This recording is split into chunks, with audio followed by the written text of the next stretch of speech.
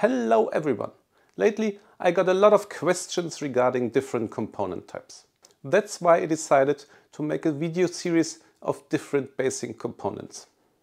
Today I'm going to take a closer look at capacitors and their application in synthesizers. Let's get started.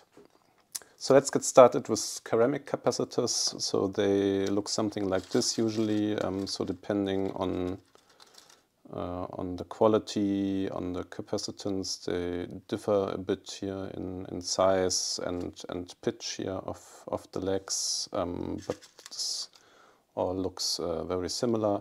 So if, for example, on, on this one here, there is a 104 noted. Um, so let's talk a bit about the identifiers. Um, so um, this is uh, the base here basically, and this is the exponent. So this is 10 uh, picofarads times 10, and the exponent is 4.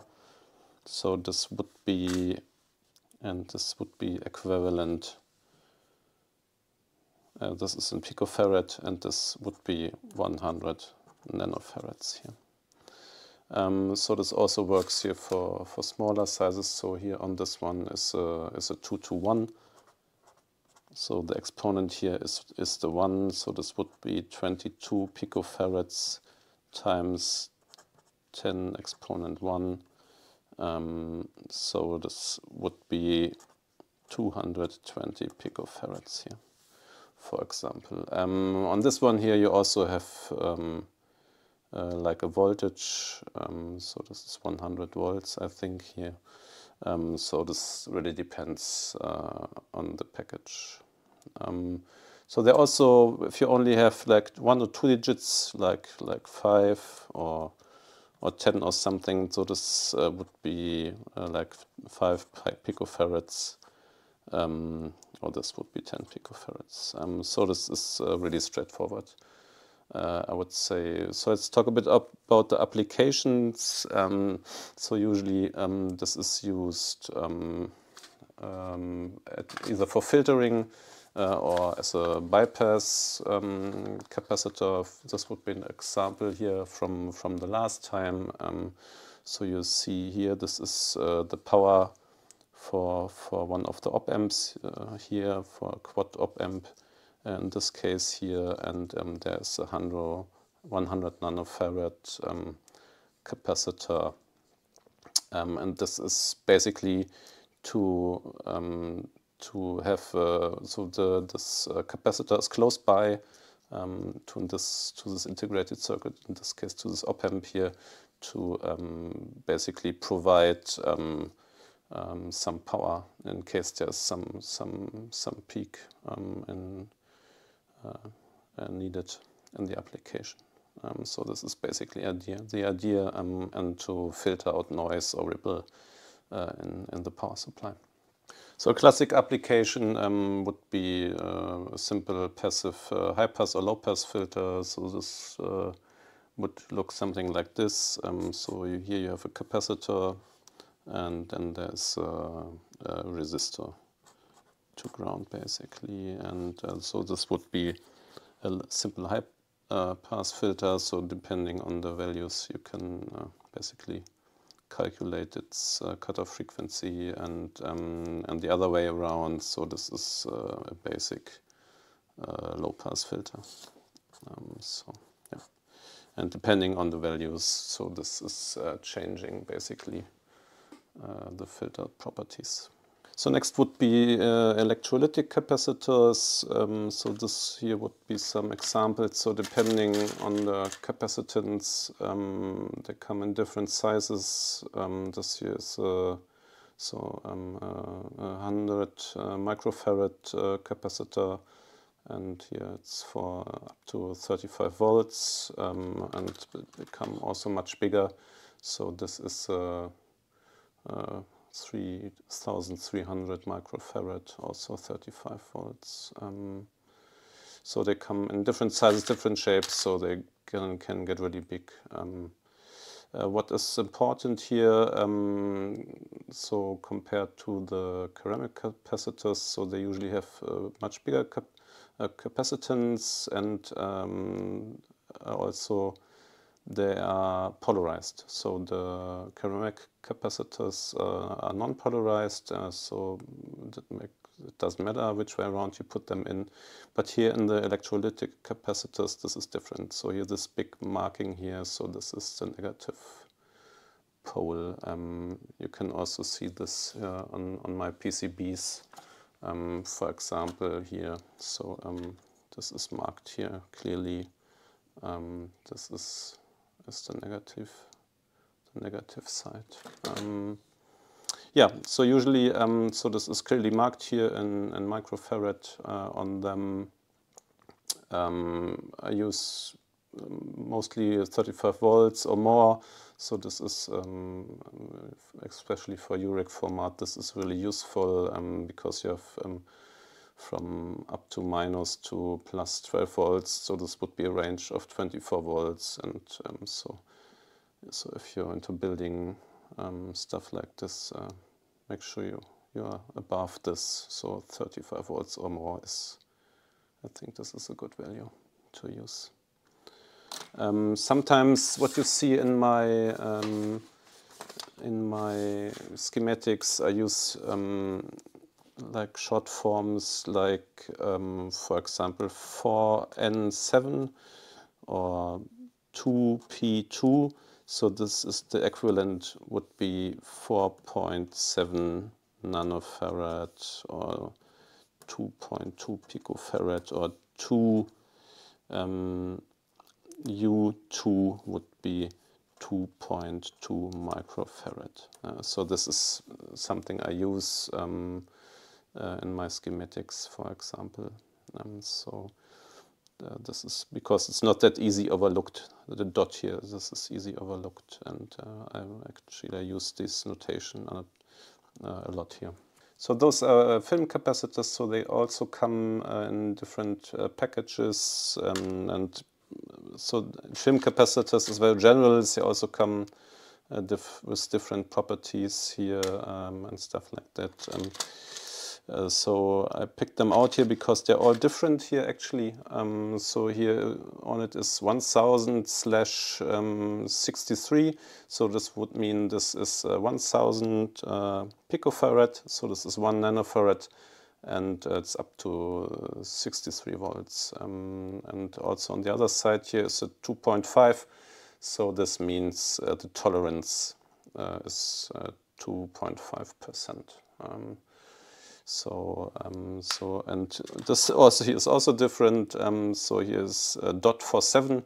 So this would be uh, in, in, in, microfarads. Um, so this is 470 nanofarads, um, also um, 63 volts, and the tolerance here is uh, five percent. And uh, this one is, uh, is a bigger one here. This is also different. So this is 2U2. So this is what I had before. So this is 2.2 um, micro microfarads. Um, so they all, this is all very different. So this is something yeah, you basically uh, need to know um, to figure this out. Um, in the beginning, what you can also can do is um, if you have a multimeter, which is capable of uh, measuring um, capacitance. So this is also an option if you're, if you're not quite sure uh, what the markings here mean.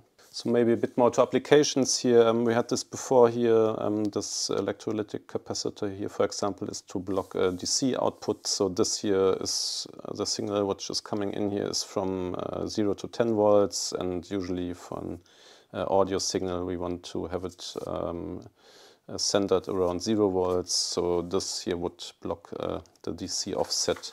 So this would be an example here. Um, so here's the 0 to 10 volts and this will move this down here by this offset here, for example. Maybe another look on different packages here. So um, this is what we had before here. So this is um, also ceramic capacitors here in, in different pitches uh, and sizes. Um, here this is all ceramic capacitors, um, so this looks very much alike. Um, so this would be here electrolytic capacitors again, so they also come in all different sizes here, as you can see. Um, so this is very much depending um, on the capacitance and, and the voltage it is uh, capable of.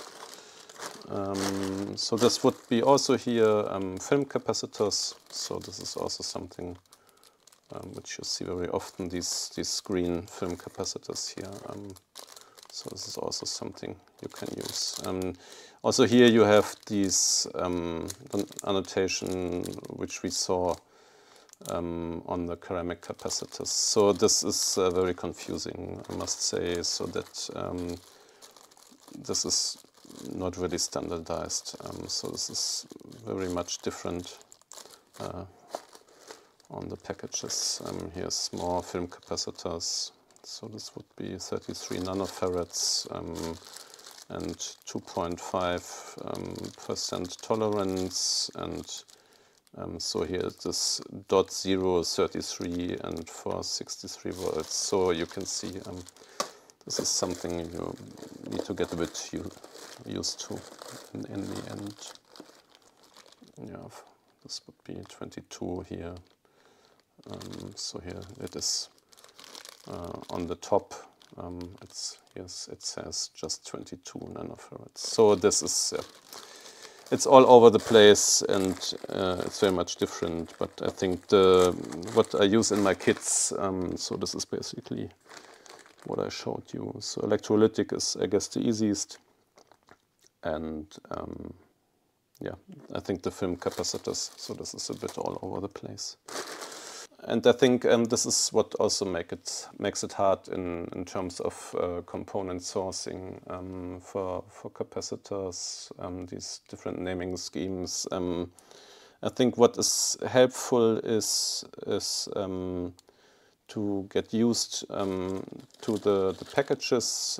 so if you start would like to start building um, your own modules and would like to pile up um, some stock of different components because it's much cheaper uh, to buy, buy more components than just a few. Um, so then basically for this here you need to know the pitch basically for the components and what I do is usually I I go either by, by some brands or, or by pitch actually because I, I try to use the same pitch for uh, the same type um, of, of capacitor all over and over again uh, in all my builds. Um, so this is also helpful in building up a stock of components. So yeah, I hope this was a bit helpful. Um, and next time maybe I'll look either into resistors or into integrated circuits and the package itself. Let's see. All right. I just added here, um, so there are more types of capacitors. Um, I tend not to use them, especially not in my kits, so I try to um, keep it special. So this um, is why I'm not covering those here. But um, yeah, also there, I think with the naming schemes I showed you, this will also work, um, but also there it's uh, basically all over the place. Yeah, just to add that. And maybe an, another note, um, a bit of a distinction of the three capacitor types uh, I showed you. Um, so, so electrolytic capacitors um, are usually are used um, for filtering, and if you uh, uh, need, need a lot of charge, a lot of capacity, so then usually um, electrolytic capacitors are used and they're also the most um, cheap ones but um, they also have their limitation because uh, of the polarization here. Um, um then you have um, the the ceramic ones. Yeah, so usually the tolerance is quite big on those, so I use them uh, as a bypass capacitor. This would be an example here. Also, it can also be used in filters and for other applications. Um, and usually um, the, the, the film capacitors um, I use when they're somewhere in the, in the audio path. Um, for example, um, this is here the oscillator. And um, so this is when the frequency here changes uh, quite a lot, um, then I tend to use these uh, film capacitors. So this is just very roughly to give you an idea of the different applications. Um, so yeah, all right.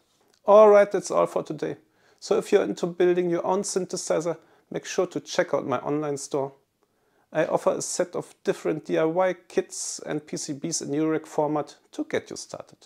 Alright, thanks for watching, see you next time and bye for now.